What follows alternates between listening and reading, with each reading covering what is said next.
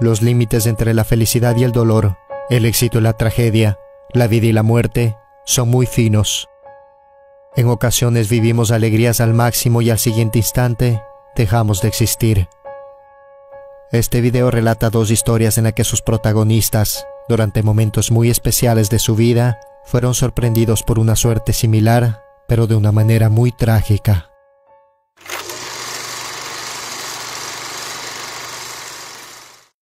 En nuestro primer caso seremos testigos de una grabación que comenzó con la promesa de una emocionante sorpresa para el novio invitados de una boda, pero terminaría siendo un testimonio trágico y crudo del final de todos sus tripulantes.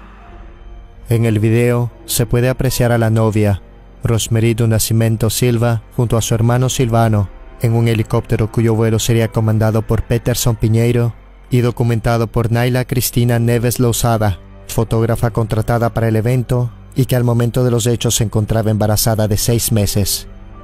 Su destino final sería el lugar de la recepción donde el novio e invitados esperaban con ansia su llegada, sin saber que desde el cielo arribarían en un helicóptero.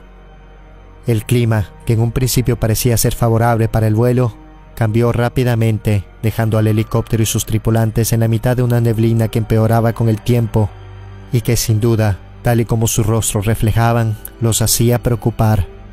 Es en este momento que la fotógrafa pregunta al piloto sobre la ubicación de su llegada.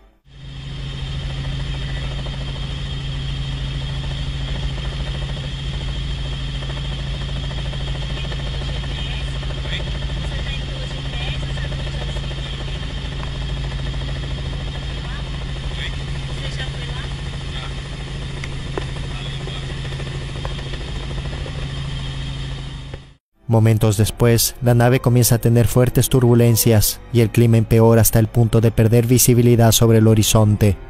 La situación a bordo se volvería cada vez más caótica. El hermano, aterrado, sujetaba fuertemente el brazo de Rosemary, mientras que el piloto luchaba por estabilizar el helicóptero. Sus últimos instantes de vida quedaron plasmados en estas fuertes imágenes, de las cuales recomiendo su discreción al reproducirlas.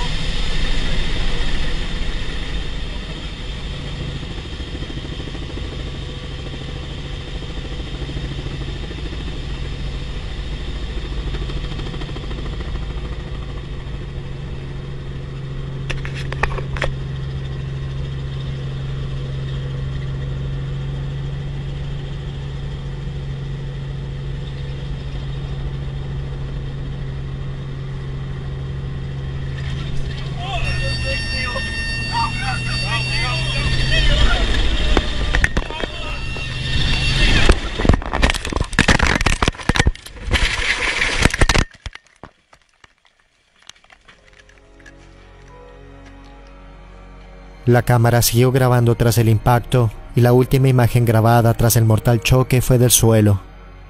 De fondo y a lo lejos se escucha a los pájaros cantar. Todas las novias tienen un sueño y el suyo era llegar en helicóptero a su boda sin que nadie lo supiera, declaró Carlos Eduardo Batista, planificador de la ceremonia.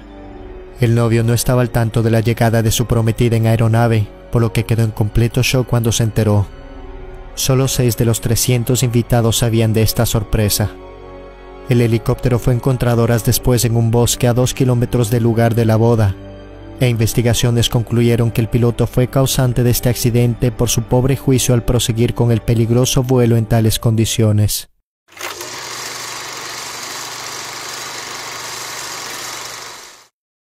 La grabación que ven en pantalla son los últimos momentos en vida que pudimos tener de Emiliano Sala, jugador de fútbol profesional argentino, y David Ibbotson, el piloto quien lo trasladaría la fatídica noche del 21 de enero del 2019 desde Nantes, Francia, a Cardiff, Reino Unido. El solo hecho de ver grabaciones de este tipo, donde sus protagonistas están a instantes de encontrar un final fatal, fue siempre razón suficiente para que se me la piel. Esta vez, sin embargo, no me voy a detener en mostrarles ese video, sino hacerles escuchar algo mucho más perturbador. Unos audios que tal vez se quedarán contigo por algún tiempo. Unos audios que a manera de premonición marcarían esta trágica y triste historia. El talentoso delantero argentino de 28 años se había convertido en el fichaje récord del Cardiff City cuando finalmente puso su firma sobre el contrato el 10 de enero del 2019 Después de terminar su examen médico en el club de la Premier League, voló de regreso a Nantes, Francia, para despedirse de sus excompañeros. Sin embargo, el 21 de enero, el jet privado que regresaba al Reino Unido desapareció en las islas del canal. El piloto de la aeronave habría llamado a un colega el día anterior al vuelo. El audio de esta llamada fue extraído, y con él un mensaje que sabiendo el desenlace de esta historia, resulta ser aún más oscuro. I picked a footballer up from uh, Cardiff. Uh, he's just been bought from Nantes. I think it's about 20 million pounds worth or something. They've entrusted me to uh, pick him up in a dodgy Mirage. Normally I have my life jacket sitting between my seats, but tomorrow we're wearing the life jacket, that's for sure. This aircraft, I think it's got to go back in the hangar. Might be your last chance to have a good old chat with me in a good old boat tomorrow. Aparte del mensaje, existían ya graves alarmas que fueron ignoradas.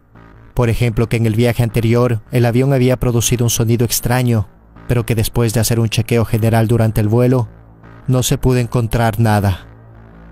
O que el pedal izquierdo del avión tenía un mal funcionamiento y que después de este último viaje debía regresar al hangar para ser revisado.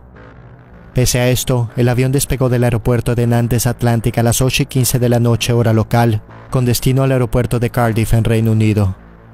Minutos después de partir, Emiliano enviaría un último audio. En este punto el talentoso futbolista ya presentía el final de su vida. Con nervios y temor a una altura de 2.300 pies, se dirigió una última vez a sus queridos a través de este mensaje.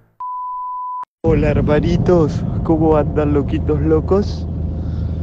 Hermano, estoy muerto. Estuve acá antes eh, haciendo cosas, cosas, cosas, cosas y cosas y cosas y no termina más, no termina más, no termina más, no termina más. Así que nada, muchachos. Estoy acá arriba del avión que parece que se está poca de a pedazo. Y me estoy yendo para Cardiff, loco, que mañana así ya arrancamos. A la tarde arrancamos entrenar, muchachos, con el nuevo equipo. A ver qué pasa. Así que, ¿cómo andan ustedes, hermanito? ¿Todo bien? Si en una hora y media no tiene novedades mía, no sé si van a mandar a alguien a buscarme porque no me van a encontrar, pero ya saben. Papá, qué miedo que tengo.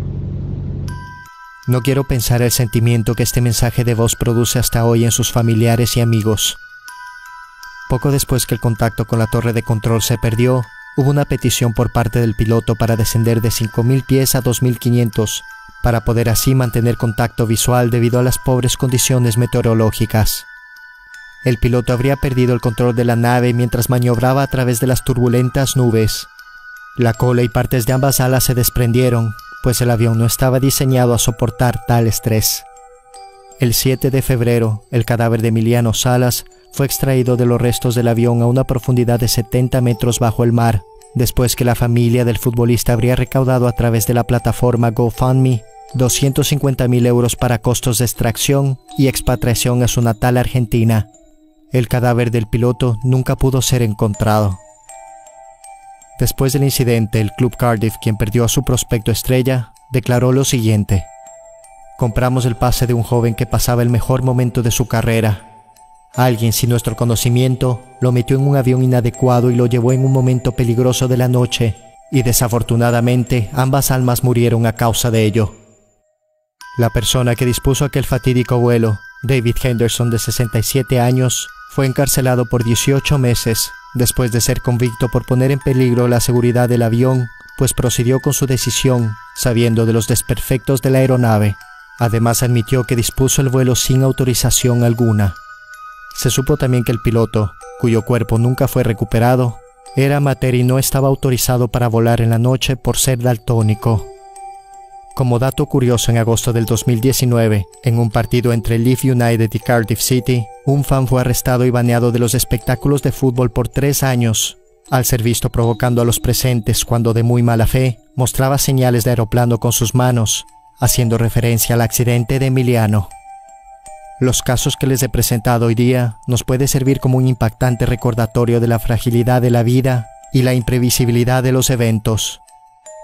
Es importante valorar cada momento y apreciar con grandeza hasta las más pequeñas alegrías, incluso cuando nuestro destino puede cambiar de un segundo a otro. Cuéntame qué piensas de los casos de hoy.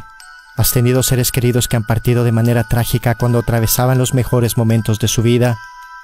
No dejes de contarnos tus historias y experiencias. Es siempre un gusto leerlas. Gracias por tu tiempo y hasta el próximo video.